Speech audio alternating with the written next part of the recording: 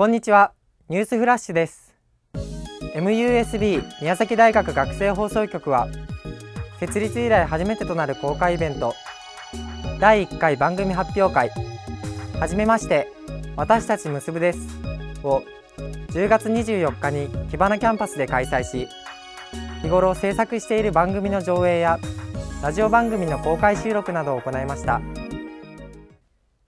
人と結ぶ地域と結ぶ世界と結ぶ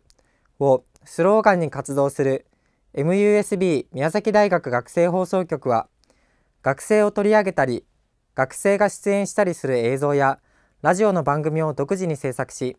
インターネット上で公開しています。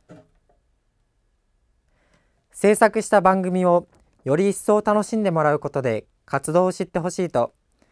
27年度初めての公開イベントを企画し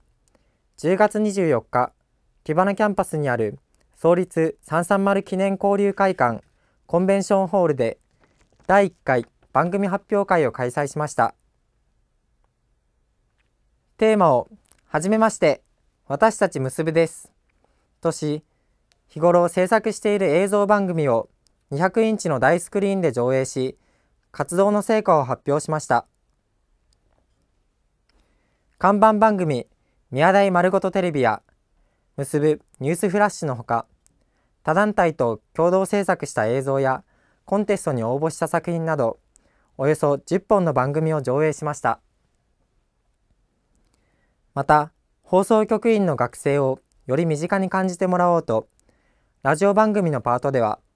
パーソナリティとスタッフがステージに上がって公開収録を行いました。イベントでは放送局や番組をテーマにしたクイズコーナーもあり訪れた高校生や学生などが発表会を楽しんでいました。MUSB 宮崎大学学生放送局では28年5月に次の番組発表会を開催する予定です。